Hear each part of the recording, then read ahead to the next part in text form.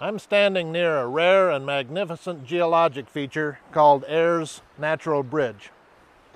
It's located in a beautiful canyon created by Laprelle Creek about 18 miles southwest of Douglas in Converse County, Wyoming.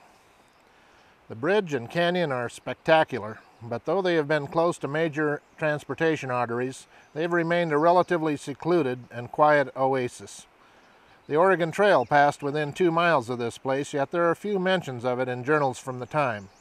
So how do natural bridges form? First off, unlike natural arches, natural bridges are formed by flowing water. In the distant past, the ancestral Laprelle drainage was a meandering stream on a relatively flat floodplain.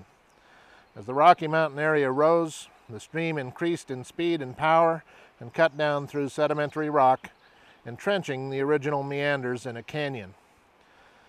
Sometimes, as erosion continues, the stream cuts through a narrow neck of one of these meanders, forming a natural bridge.